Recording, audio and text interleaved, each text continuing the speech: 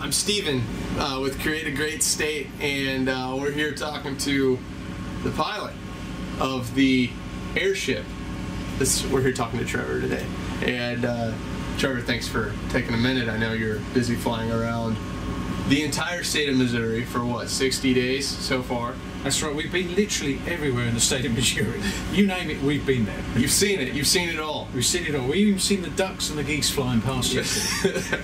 a non, I would call it a non-resident expert. You know, not necessarily a resident expert because you are from, you're not from around here. no, I'm, I'm from Poole in the uh, south of England, right down on the coast, where it's a little bit warmer right now than it is here. It's a little warmer. What, what, what's your, what's it like over there right now? You think? No, it's about 15 centigrade. 15 centigrade. And which we were debating earlier how to actually, you know, neither of us are actually, you know, you're not very good at converting centigrade back and Fahrenheit, No. so we're just kind of comparing apples and oranges right now. I just need my calculator for that. Mm-hmm. Now, my first question, and this is the most important question about the airship, is actually what uh, what is this? You, what is this for? What is, what Well, th- this, is- this, is, this is the uh, co-pilot's hand. okay. When we find flies, and also we do occasionally get the odd uh, large horsefly come in or wasp. Okay, so, So this is actually an important piece of equipment. is, it is essential. it's In fact, we carry two in case safety one in breaks. case one breaks. I thought maybe it was like after a successful day, it was the you know you could high five. It's, but no, it's No. actually No, no, no. A successful day is dead flies down the bottom. it's pest control. but really, really, we have not had a, a wasp come in here, Well, that's good. and we've uh, we've pretty quickly disposed of the horse flies. well, that's great. But it has seen a fair bit of action this tour. It has. it has. So you, I mean, you obviously gotta. You, you can never be too careful in an airship. Yeah. If if we leave all the windows shut overnight, it solves the problem. It's if somebody forgets and leaves all the windows open, they tend to come in. But the door was open earlier. Yeah. You know. It's too windy for flies at the moment. Um, so, um, how? Give us a little background here. You know, you're of course you're in you're in Missouri, in an airship, flying around the state. How did you end up here? What's your background? Well, background, I mean, I, I was one of the first pilots that was involved with the test flight of this airship back when it was uh, built in the UK. Mm-hmm. And basically, that was 25 years ago. Wow. And I, I used to be a fixed wing pilot, flying instructor before that. And I thought, no, this is more fun. It's just like a big toy. It, the other kids love it. It's, it's a wonderful, wonderful type of aircraft. So I, I then joined literally as the co-pilot, Mhm. working with the chief test pilot. And then after that, I was flying in lots of different countries and all around the world. And flying in America quite a bit as well, particularly for companies like Fujifilm, Yeah. but also for lots of other companies, even flying a German Zeppelin at one point. And Wow. I came back recently when uh, this ship was rebuilt, yeah. because it's obviously had a new envelope and new instruments and things. It's near and dear to your heart too, a little bit. Yeah, You're- they're great. They're great. Yeah. And so it, you're right. It does look like a, a big toy, you know. And you're looking at it in the sky, or when you're walking up to it from the ground, you're like, oh my gosh, it's like you know, it's good. But it's not a toy. I mean, it's very complex. There's a lot that goes into it, and it's uh, you know, not just anybody can, any pilot can hop in the cockpit of one of these things and, and buzz around the air. So what's what are the differences that you know, just on the base level that you know someone would need to know? Um, some of the essential things we need to know about about a skyship, an airship like this. Right. Well, first of all, it's really like a cross between a, a boat, an aeroplane, and a helicopter. All three things mixed together. Yeah. So if we want to turn, for example, what we do is we rotate the control column Mm-hmm. and it skids around the corners just like a boat because it's got rudder at the back. Mm. The big rudders deflect and literally the air would come in one window and out the other side. So you're skidding like a boat. So that's how you turn.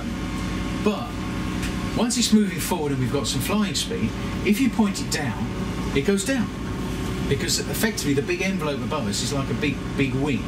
So once we're moving forward, point it down, it goes down. So that's like the helicopter component. no, that's like the airplane. That's the airplane component. That's the airplane And the boat component is skidding It's around. skidding at the of Okay. it turns. Yeah, yeah, yeah. And then finally, we can vector the engines up and down for landing and Okay. takeoff, and that's the bit that's like the helicopter. Yeah. So that's the basic. That's the yeah, basic that's the rundown. basics of it. Um, all right. So you've come all the way across the Atlantic Ocean. You've been here for quite a while, a couple months in Missouri, flying around. You've seen it all, like you said. You've been over Mark Twain Forest. You've been over St. Louis, Kansas City, and everything in between, north, south, east, west. Yeah. What do you think Missouri so far? Hmm? What do you think? You hear? I mean, you saw you saw literally saw the colors change from green, Yeah. you know, summertime all the way through fall, and now it's starting to get cold, well, winter, and all the leaves are falling off. You've seen three seasons. You didn't get to see spring yet, which is beautiful. But what do you think of Missouri fall? Well, I'll be keen to be out of here before the winter Yeah, yeah, before it hits. because uh, it's starting to think about coming in now. Mm-hmm. But certainly the sun, the summer was really nice. Was a great summer. It's just starting to get a bit windy and cooler now. I mean, Yeah. I'm starting to notice it. Yeah, yeah, for sure. And we had to shut the door because I mean, it was Yeah, cold. yeah, It was the really cold. You got your jacket off right now. We gotta, we gotta get you a jacket, but uh, but they need to give you, you know, the, the whole bit. Yeah. the jacket, but. Um, and so up in the air, you're looking at Missouri. Of course, it's beautiful. What do you, what do you think? You know, you're meeting some people. What do you think of the state? Oh, I think it's a great state. The, the thing that interests me is I was amazed how many lakes there are. Yeah, Because when, when you think about it, well, lakes, the Great Lakes, but in fact you've got small lakes all over the place here. Plus you've got two major rivers. yeah. And so you've got a lot of water. I can see a lot of people are interested in water sports. Mm-hmm. And, and also it's very much a hunting and fishing place. So if you like eating duck and uh, geese and things, it's great. Yeah. And, and deer, of course. Of course, of course, it's almost time too. You know, Oh, yeah. I'm sure you've seen them, seen them around. But, uh, but like you mentioned, you come to Missouri in the middle of the United States, and you're like, you know, landlocked on. You know, of course, it doesn't get any more landlocked than Missouri, but you got the Mississippi River, got the Missouri River, got all these lakes, and a lot. There's a lot, a lot of fun stuff to do here. So that brings to the main question. I mean, it's been plastered on the side of the blimp for 60 days. I'm sure you've thought of it. Create a great state. Well, I think I think it is a great state already. Yeah. Yeah, you don't need to create one. I mean, it is, it is a great state. Uh-huh. And I've been the things that really impressed me. I mean, I don't want to say bad things about other states, but it's definitely wealthier than say Kansas, Oklahoma, Mhm. and also going even the other way. It's it seems to be quite a quite a smart place. You know, looking at all the houses, for example. I mean, there's a lot of nice houses. A lot of infrastructure, a lot going on. Yeah. A lot more than you thought maybe. Uh, I mean, we, we noticed the difference when you're flying over because of old cars dumped in the trees. So when, when you're in a bad area, you see a lot of old cars, fridges as well, thrown into the trees, forgotten about. uh-huh. You go to Missouri, I think you've seen about one. I mean, literally one abandoned car. So it's a pretty clean, smart place. Great. Well, So I, can- I can see why people like living here. appreciate that.